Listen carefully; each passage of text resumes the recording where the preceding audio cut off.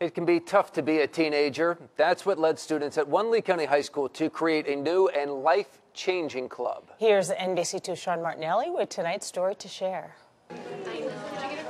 As the day ends at Island Coast High in Cape Coral, You ladies too, come join us. Have a seat. one of the school's newest clubs is about to begin. Oh, Have a seat around the rug. Is it like many other clubs in the No, school? not at all. I was like, what is that? Like, what? what is this? Fearlessly girl. I kind of realized that this was my kind of place. This is a supportive group and a safe group.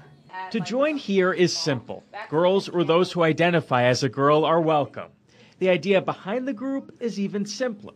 Young women come to connect with conversations that go far deeper than the surface. Something that I've been practicing. A student approached history teacher Jamie Peralt with a suggestion. She said to me last year in class, I'd like to start a women's empowerment type club.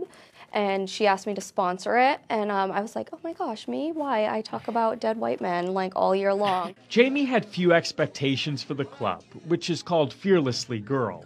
After all, the concept isn't as competitive as the dance team or as flashy as the robot club. I never imagined that it would be this big so quickly. The response has been huge, amazing. We are this way for a reason. What's been even more amazing, maybe even surprising, are the similarities these girls have found in each other.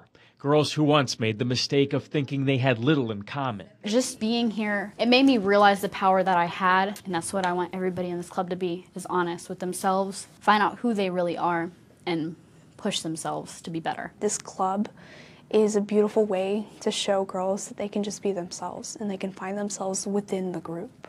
It can be easy to fall into the high school trap of changing oneself in order to fit in. Each of these teenagers have found something much more meaningful a place to live in their truth and truly belong. In Cape Coral, Sean Martinelli, NBC2.